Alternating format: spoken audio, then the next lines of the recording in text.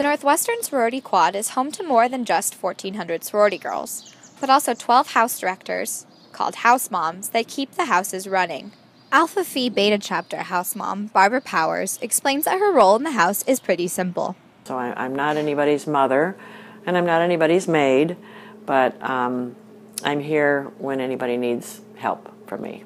But Powers doesn't do her job alone. She also has her trusty sidekick, Duchess. We have Duchess, the dog, who uh, she managed to sneak in under the wire, and uh, the girls love her.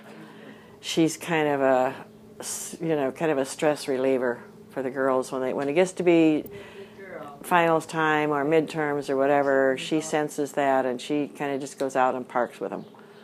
So uh, we're lucky to have her, and I'm lucky to be here. happy to be here. For Nancy Siddall, house mom of Delta Zeta sorority, the most rewarding part of being a house mom is watching her house daughters grow. Girls come in as shy young ladies and they just blossom. They just blossom, and it. I hit, I have goosebumps.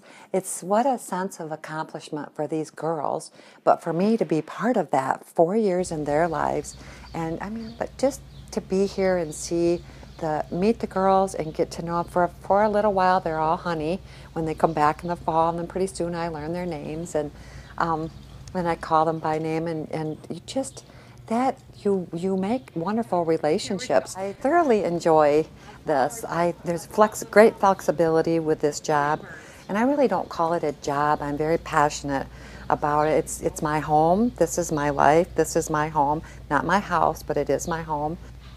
This is Martina Burr Hernandez with Northwestern News.